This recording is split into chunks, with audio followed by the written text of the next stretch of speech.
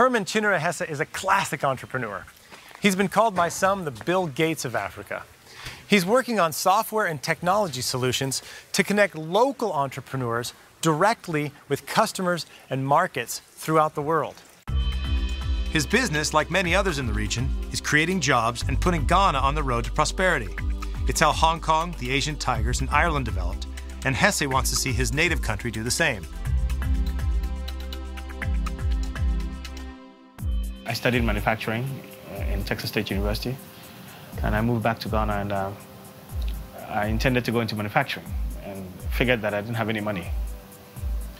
I was sitting around and realized, hey, wait a minute, my little computer I had here was a, a factory. It could make software, and I'd been dabbling about with software, and I thought, hey, I could turn this into my manufacturing business. So I partnered up with an old, old uh, schoolmate, and uh, we started writing software and uh, started selling door to door. In the early days, you know, hand to mouth.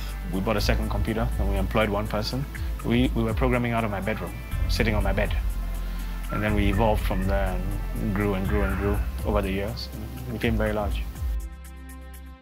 He's met with great success by developing what he calls tropically tolerant software, programs that run well in places with frequent power outages. But the story he tells is like that of many entrepreneurs in the developing world. Sometimes international foreign aid has been an obstacle to growing his business. There are situations where I've set up a business deal, I'm about to do a trade. I'm going to sell something to a community, I've made an investment, and NGOs will hear about it uh, because it becomes topical, and they find a way to bring aid money and provide it for free. So what happens to my investment? I have to lay off my staff. To a large extent, our governments uh, have been held captive by the donor agencies, the international donor community, who are not, in my view, particularly interested in seeing the growth of uh, local business. When we talk to the government, the government says, hey, we're not allowed to buy with donor money local products. That's just the way it is. It's their money, they decide who gets it. And this has been a big dilemma for us. Politicians, they are more interested in a smile on the World Bank country director's uh, face than the success of my business.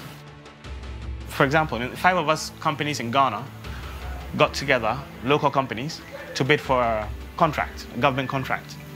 Now, everything was going very well. We were competent to do the work. Guess what happens? We're bidding against some European companies. One of the companies got their government to loan our government money, very soft loan, for the project our folks in the government said, hey, you know, we love you very much. Nothing beats free money. We lost our money. You know what we ended up doing? We ended up working, working as subcontractors to the Europeans. They gave us the worst part of the business.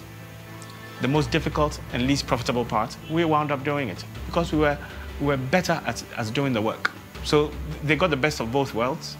Their government paid, we ended up doing the work, they took the money. That's not development, that's not assistance, that's thuggery. A large part of aid is, of course, a subsidy to the companies that do the work in African countries. I myself worked on such a project, and I saw myself the incredible waste. It was a road project, actually, in Tanzania. And the foreign aid, so called, amounted to a huge subsidy for a company that could not possibly have got the contract in, uh, in a real market.